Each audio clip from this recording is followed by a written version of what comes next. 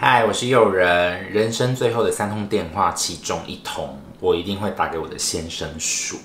因为我觉得人生的这条路上很难得遇到一个可以一起工作、一起生活、可以一起做任何事的人，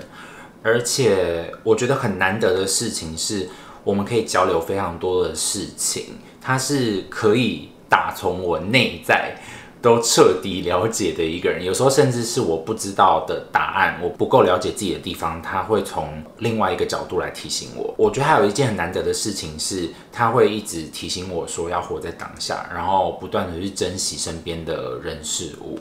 所以如果有那一通电话的话，我最后一通电话会打给他，好好的感谢他，告诉他说谢谢你，感谢人生有你。